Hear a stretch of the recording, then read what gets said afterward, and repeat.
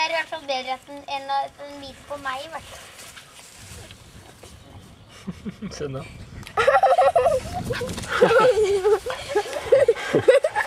Det er tåfis også.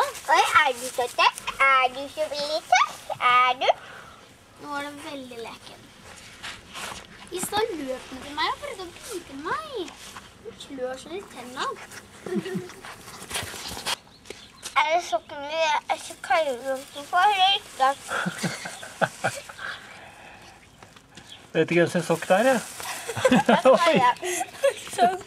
Oi, sann. Er du? Er.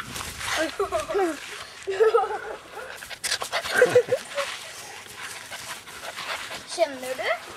Jeg og Erika slipper på kamera, så snart blir det Ja. hennes tur. Ja, hun har gjort alt.